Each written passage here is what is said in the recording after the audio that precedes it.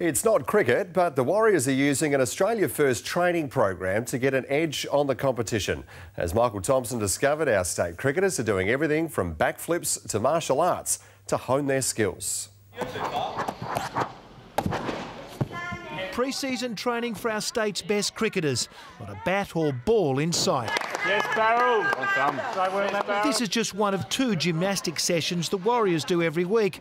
It's part of a radical program developed by coach Justin Langer. He's searching for that edge. You've got to have courage to, to be a high performance player. So, yeah, there is some of the stuff they've done. There's been some laughs along the way. And also just having that confidence to have a crack. You know, they're something they're taking out of their comfort zone.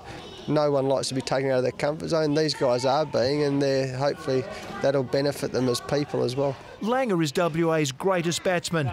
He's also helping to turn the cricket world upside down. His pre season includes not just gymnastics but martial arts, intensive skills sessions, and an exhausting fitness regime. It's hardly cricket. So, boys, what we're going to do today is 100 hundreds. All right, so uh, that's 10k of uh, high intensity running. I've never found anyone who could give me an argument why being fitter won't help.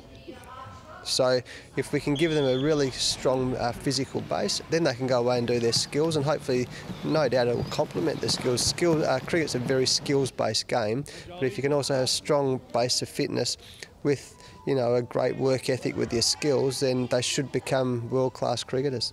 WA narrowly missed out on an unprecedented triple crown last summer.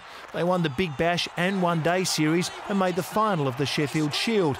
Just missed that elusive hat trick. But how does gymnastics help win titles? I think it's great for their core strength, understanding their bodies. Hopefully, it's going to help them with their fielding and their agility. So it's something a bit different. Um, but I, I, can see huge benefit when the season comes. After years in the cricketing wilderness, Western Australia is back as a major force in the game. Much of that credit goes to Langer.